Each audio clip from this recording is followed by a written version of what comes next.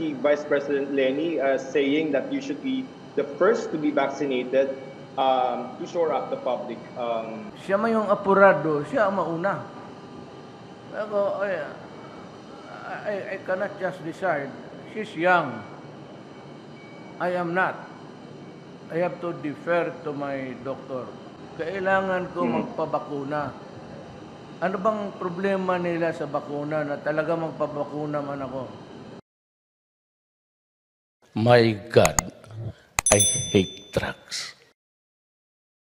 Sir, para po sa inyo namang galing, um, sir, nabakunahan na po ba kayo? At kung hindi pa po, sir, would you confirm na ang gusto po ninyong bakuna ay Sinopharm? At kung Sinopharm po yung gusto nila, bakit po hindi Sinovac? Ya- alam mo, have you talked to the medical uh, people? Kami yung mga 70, we have to be careful. Ako naman may doktor ako sarili. She thinks that uh, another brand, I will not mention it, uh, yun na lang ang hinintay ko. Sabi niya, hinintay niya. Hinintay ko. Sabi ko, but I cannot just uh, uh, out of the box uh, vaccine simply because I have to take care of my age.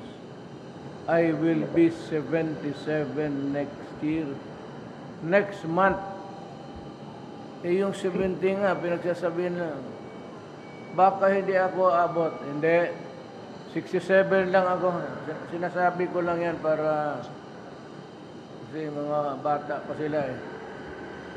Mm, mm, mm. Sir, um, But- kasi sir, ang nasabi po sa... ano, walang, alam mo, in the matter of getting the vaccine, it is to my advantage. It is to my self-interest that I should get one. No doubt about it. As to what brand, yan ang problema because it is left to the sound discretion of my doctor. May kaviat pa yan.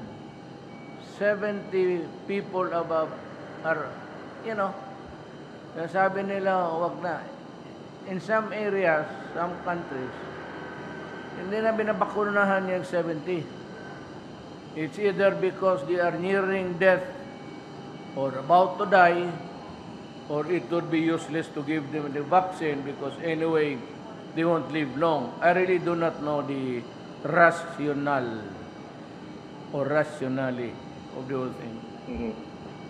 Sir, Pero- just one last question. Sir, um, I'd like you to address po yung mga healthcare workers natin because po, um, kung yung survey po ng PGH ang pagbabasehan natin, uh, 8% lang po ng mga empleyado sa PGH ang gusto pong magpabakuna noong Sinovac. Tapos po yung uh, kung mga Pilipino ang titingnan sir, survey says uh, 13% lang po yung may gusto ng Chinese vaccine. So address sir yung parang distrust ng mga Pilipino sa Chinese vaccines and would you be willing to be vaccinated in public to shore up yung uh, public confidence sa pagbabakuna. And just one last point, sir, si Vice President Lenny uh, saying that you should be the first to be vaccinated um, to shore up the public um, uh, confidence in the vaccine. So yung survey, sir, na mababa yung may gusto ng Chinese, and then yung kung kay Vice President. Thank you, sir. Siya man yung apurado, siya ang mauna. Ako, I, I, I cannot just decide. She's young. I am not. I have to defer to my doctor. But I said, on the matter of getting the vaccine, it is my self-preservation will be at issue. Kailangan ko magpabakuna. Ano bang problema nila sa bakuna na talaga magpabakuna man ako? If I do not want to die and get COVID, I, I should get one. I go around a lot. I meet so many people on any given trip outside. Eh, bakit dadramahin pa yan? Sino mauna? Sino? Ako magpabakuna. Ang problema, ang doktor ko may hinihintay. Now, on the issue Mm. of itong mga health workers, merong dadating. They have a choice. It's either Seneca or uh, uh, So, ano ba? AstraZeneca, sir? Astra, AstraZeneca, sir. ah, AstraZeneca, yan. Ay, AstraZeneca o the Sinovac. Kung ayaw nila ng Sinovac, maghintay sila uh, in a few days. There has been quite a... Uh, basta, I was assured that it would be coming within the next few days. Di yun ang gusto Correct. nila, they, they have a choice. Uh, that's about uh, another, uh, I don't know uh, how many. 500,000, sir? Oh, ewan ko, basta siguro dyan. uh, I, I cannot really tell you the exact number. Basta magdat. Ito, galing ito sa World Health Organization. Sinovac. Mhm. Ito yung inaporsyon ng WHO among the countries that cannot afford to buy it immediately. Kasi agawan. Now, kung magsabi kayo, bakit ngayon lang, eh mabautit na nga't na, nag-donate ang nagmagandang loob ng China. This, uh, what you see now are donated vaccines. Tayo may pera kasi naghiram tayo sa World Bank pati sa DBP. Sabi naman ng dalawang ehensya, okay, pahiramin kayo. Walang problema. Problem is, agawan ngayon ng bakuna. Until there is uh, a residual supply, we'll just have to wait yung magbili tayo. Eh sige, reklamo. Sinabi ko na ang rason, walang supply. Ginusto ko man magnakaw, ginusto ko man magbili, eh wala eh. Kaya itong una dumating, AstraZeneca would be coming. Now, for those who do not want to be vaccinated, okay lang sa akin. Wala akong problema. Ayaw ninyo magpabakuna, okay. That's your choice. Okay. Maraming Kaya- salamat. Okay, sir. Thank you for your time. Yes, sir. Kagaya ng ganito. Thank you very much for your time, sir. Yeah. Go ahead. Ah, susunod pong magtatanong, Mr. President. Eh, kailangan ka mag-mas. I cannot. I simply cannot. Para akong inutil na magsalita na ano. I have to remove it. Am I asking for an exemption? No.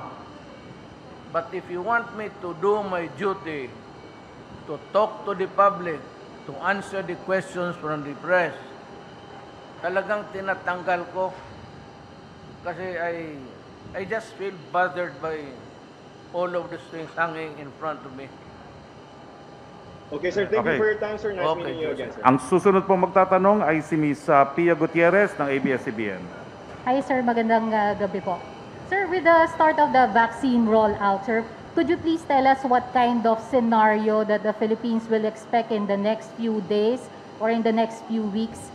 More importantly, sir, when do we expect uh, the Philippines to achieve herd immunity and when do we expect to get our lives back to normal?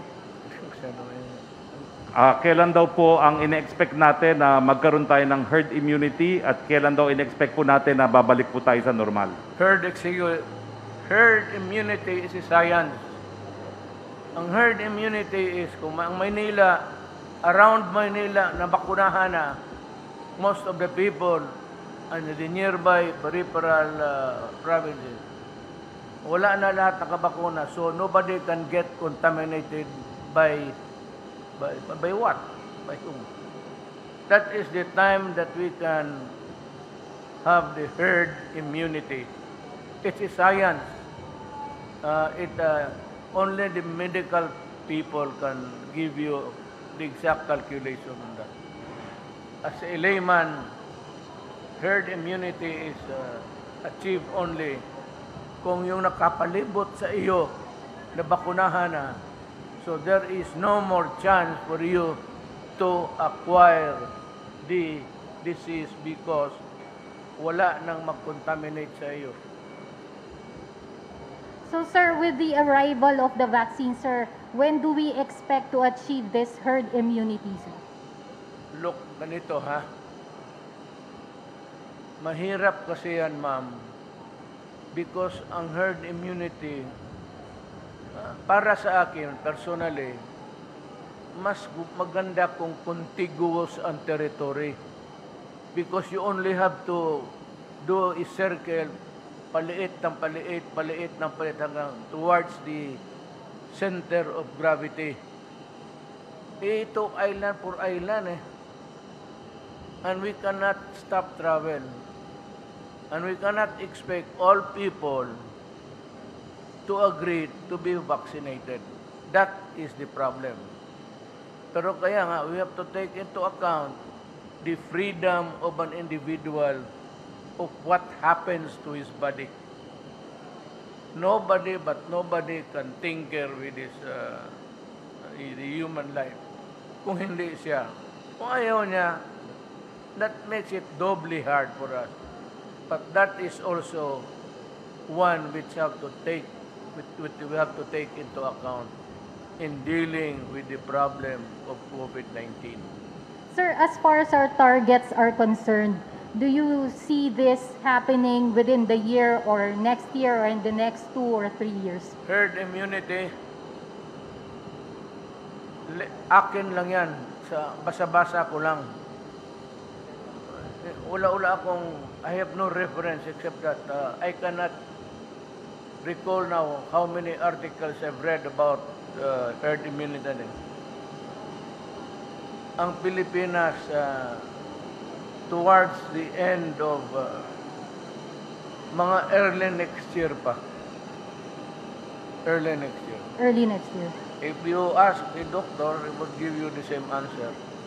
Maybe. Maybe not. I'm wrong. Pero sabi ko, yun lang gina, yun lang nabasa ko. Uh, what I've read from international uh, magazine. Wala talaga akong, ano, I must confess my incomplete and inadequate uh, knowledge dito sa bagay na to. Um, on another uh, and a similar matter, sir, now that we have started the rollout of vaccines, would you reconsider the IATF recommendation to place the Philippines under MGCQ? The I, the, the- Will you reconsider pa, daw po yung placing Metro Manila under MGCQ now that we have rolled out the vaccination program? I am considering it. Actually, pag-start, buksan ko na because there are two things that are really bugging us. It's the economy and COVID-19. Nakatutok yan. Our economy is really down, as in down. So, the earlier na mabilisan itong vaccine, the better. Ah, ako,